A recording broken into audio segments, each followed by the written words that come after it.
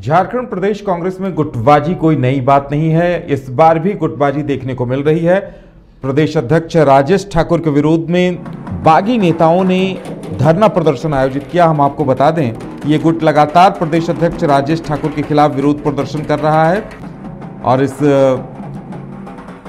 प्रदेश अध्यक्ष के संगठन विरोधी कार्य किए जाने और तानाशाही रवैये के खिलाफ एक दिवसीय धरने और सत्याग्रह का आयोजन किया गया। मौके पर विरोधी गुट के नेता आलोक दुबे ने कहा कि पार्टी के कार्यकर्ताओं में नाराज़गी है, प्रदेश अध्यक्ष की तानाशाही, कार्यशाली कांग्रेस जनों पर भारी पड़ रही है। उन्होंने कहा कि सरकार में होने के बावजूद नेता और कार्यकर्ता पार्टी छोड़कर जा रहे हैं। साथ ही उन्होंने कहा कि रामगढ़ चुनाव की समीक्षा भी होनी चाहिए और राहुल गांधी के ऊपर प्रधानमंत्री की तरफ़ से अत्याचार को लेकर जन सत्याग्रह का आगाज़ किया गया।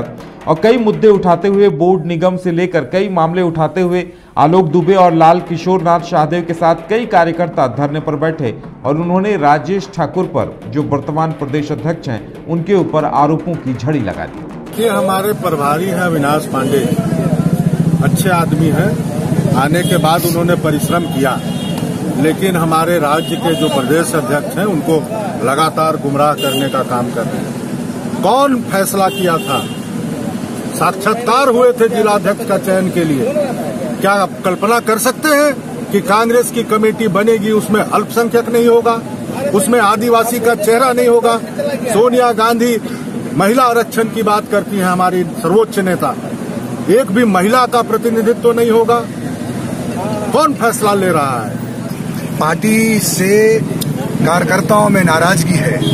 प्रदेश अध्यक्ष की तानाशाह कार्यशैली आज कांग्रेस जनों पर भारी पड़ रही है। उनका हर लिया गया फैसला जो पार्टी के विरुद्ध जा रहा है। सरकार रहते हुए नेता और कार्यकर्ता पार्टी छोड़कर जा रहे हैं। अपने ही मंत्रियों को सार्वजनिक रूप से बदलने की बात कही जा रही है, नन परफॉर्मेंस की बात कही जा रही है। पार्टी भी कमज़ोर हो रही है और सरकार की भी स्थिति कमज़ोर हो रही है। अगर हमारे चार मंत्री नन परफॉर्मर है तो इसका मतलब है कि पूरी सरकार को जो आरोप बीजेपी लगाती है, उस आरोप को ताकत दे रहे हैं प्रदेश कांग्रेस अध्यक्ष चार धामों में से एक, रामेश्वर धाम सहित तिरुपति बालाजी, कन्याकुमारी मदुरई माँ मीनाक्षी देवी और श्री मल्लिकार्जुन ज्योतिर्लिंग का झारखंड में सबसे कम दर पर सब परिवार दर्शन लाभ का अनुपम अवसर। संपर्क करें माँ कामाख्या धार्मिक रेल यात्रा।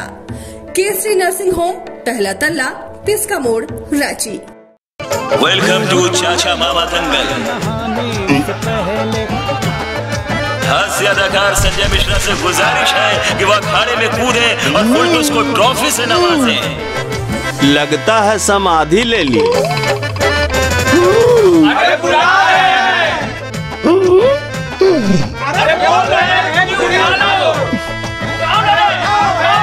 Top tech cement. जो जोड़े तो छोड़े नहीं। मजबूती ही हमारी पहचान।